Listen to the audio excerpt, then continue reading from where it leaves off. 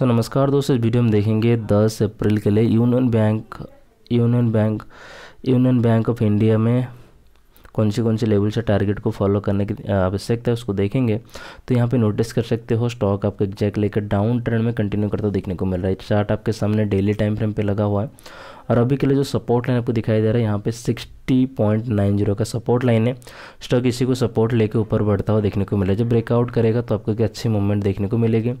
Resistance line आपको 75.50 का रहेगा। पहला रेजिस्टेंस लाइन दूसरा रेजिस्टेंस आपको दिखाई मिलेगा 83.65 का तीसरा रेजिस्टेंस लाइन देखने को मिल जाएगा 96 का राइट दोस्तों, अगर हम यूनियन बैंक में सप नियरेस्ट सपोर्ट और नियरेस्ट रेजिस्टेंस की बात करें, देख लेते हैं।